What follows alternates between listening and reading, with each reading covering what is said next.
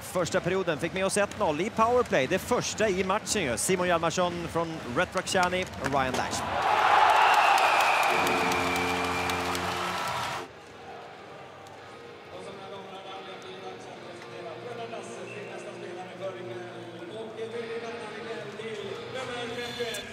Hans andra mål för säsongen. I mittperioden då fick vi också ett mål med oss. Det kom ett mål per period. Eh, och den här gången var det ju, att titta uppåkningen från Christian Näkyvä som gjorde 1-1 i spel 4 mot 4.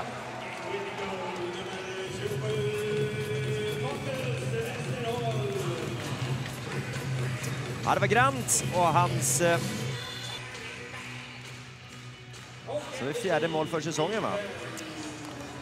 Och sen Frölunda med den här möjligheten, Fagemo.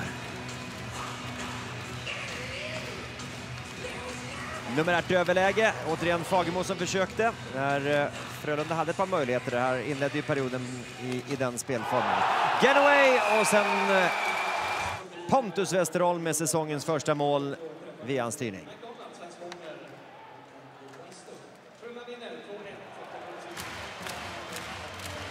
Mm. Och så Johan Mattsson med eh, gratulationerna efter 60 minuter och de här siffrorna. Där skotten landar i 8-7 i den tredje perioden och totalt då 29-23 och eh, målutdelningen, ja, två för Frölunda, ett för Örebro. Ja, Pontus Westerholm, skönt att sätta första pucken förstår jag. Eh, ja, det är klart det är det. Um, det har gått lite troll i det, men jag har skapat mycket chanser och ja, till slut eh, sitter och dessutom att få göra ja, men segermålet måste väl också betyda ännu mer kanske?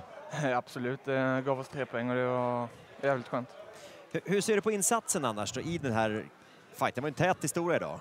Eh, nej, men Örebro är ett bra lag och eh, de gjorde det tufft för oss. Eh, vi, släpper, vi pratar om att släppa till chanser, men eh, vi gör ändå massa 2-1, eh, friläge, 3 mot 2 och sådär. Så det, det är något vi måste jobba på.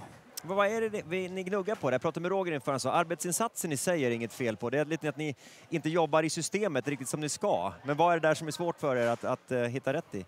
Nej, men det är just att trean ligger för... för uh, ja, vi spelar lite mer för offensivt, uh, vi tänker lite mer defensivt och uh, skickar hem trean lite mer i mitten och tar bort alla, alla överlägen.